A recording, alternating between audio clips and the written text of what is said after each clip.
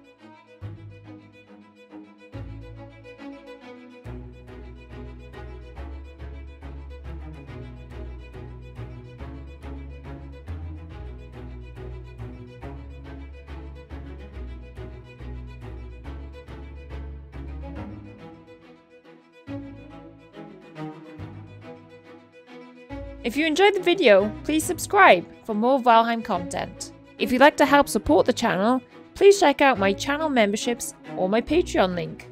We are going to be restarting our community server very soon.